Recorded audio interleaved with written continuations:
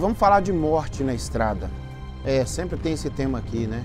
O motorista de uma caminhonete com placa de Padre Paraíso, ele morreu em um acidente no Nordeste Mineiro. A batida foi contra uma carreta na BR-116. É. A gente vê o estado. É, Fantônio, eu vi o estado que ficou aqui, a cabine do carro. Uma caminhonete, né? A gente vê como é que ficou. Então, um corpo humano dificilmente resiste a uma pancada aí dessa forma, né, Fantônio? Você vai contar sobre esse caso para a gente, por favor, meu amigo? Boa tarde para você. Boa tarde, Nicomedes. Boa tarde a todos que nos acompanham pelo Balanço Geral. Nicomedes, esse acidente impressiona por conta da destruição. Nós estamos falando é, de um, uma carreta e uma caminhonete. A caminhonete ela tem uma estrutura é, física reforçada, principalmente a parte frontal, mas nem assim evitou que o motorista fosse atingido e perdesse a vida.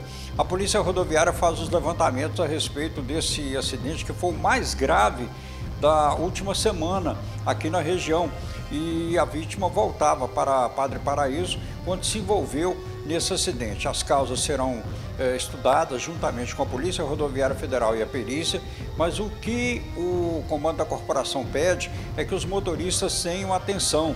Essa época do ano existem vários fatores que afetam a dirigibilidade, como por exemplo a questão de tempo, a questão das condições da pista, o entardecer é um esse período próximo ali entre 5 e 7 horas da noite é um período muito importante para que os motoristas tenham atenção até que o sistema de visão se adapte à noite, esqueça o período do dia e adapte ao período da noite. São vários os fatores, Nicomedes, que influenciam nas questões de segurança. Então, melhor mesmo é praticar a direção defensiva e aguardar o pronunciamento das autoridades sobre esse acidente, lamentar aí a morte desse motorista, Nicomedes acidente na rodovia, nessa 116, né, Fantônio? É, o trecho daqui de Governador Valadares, que vai até no Rio de Janeiro, está sofrendo intervenção né, na pista, mas essa outra parte precisa ser mexida também, né? A pista reformada, a sinalização melhor. E a nós outros, usuários da via, né, aquele senso de conscientização a respeito do que envolve o trânsito, né?